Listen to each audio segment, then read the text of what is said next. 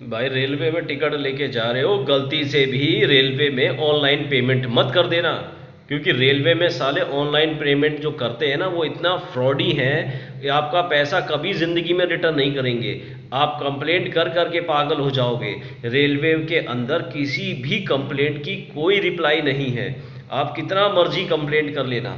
मैं आपको एक एग्ज़ाम्पल दिखाता हूँ कि ये मेरा कैंसिलेशन टिकट है।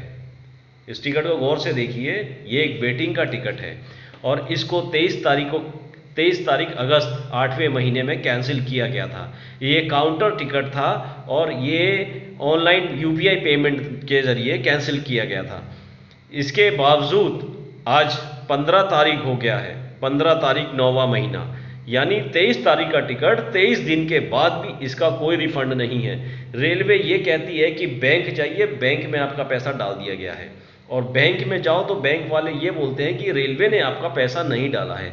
हालाँकि बैंक वाले बहुत क्लियर हैं और बैंक वालों ने एक पासबुक के द्वारा ये पासबुक नया पा, नया पासबुक इशू करवाकर मुझे अपनी तरफ़ से पूरी क्लियरिफिकेशन दे दी है कि आपका पैसा रेलवे ने बैंक में नहीं डाला है। लेकिन रेलवे इस बात को मानने को तैयार नहीं है। उसके बाद आते हैं रेल मदद पर।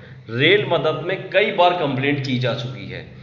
और कंप्लेंट के द्वारा रेल मदद में आप जब भी कॉल करोगे तो आपको रेफरेंस नंबर दे दिया जाता है कि आपका ये कंप्लेंट है, ये रेफरेंस नंबर है। ये देखिए।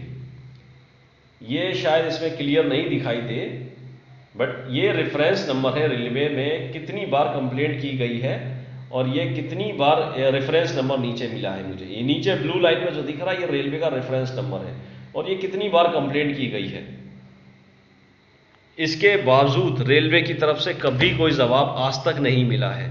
तो भाई, रेलवे में जब भी टिकट लेने जाओ, कैश पेमेंट करो। ये जो डिजिटल भारत और डिजिटल पेमेंट का जो सिस्टम चल रहा है, ये सबसे गंदा और सबसे घटिया है। आप इसके चक्कर में कभी मत पड़ना। रेलवे में जब भी आप टिकट लो, सीधे सीधे यूपीआई कैश पेमेंट करो। यूपीआई स्कैनर, ये सब वेटिंग टिकट में गलती से भी मत करना।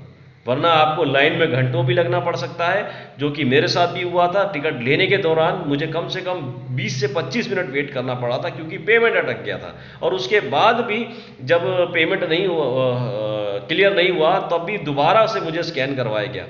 ठीक है? तो ये बड़ी लंबी कहानी है। फ़िलहाल तो ये झंझट ये है, बहुत क्लियर ये बात है कि भाई ऑनलाइन पेमेंट मत करना। कैश पेमेंट दो और डिजिटल भारत जाए भाड़ में, ठीक है? अपना पेमेंट दो कैश पेमेंट दो कैश पेमेंट लो।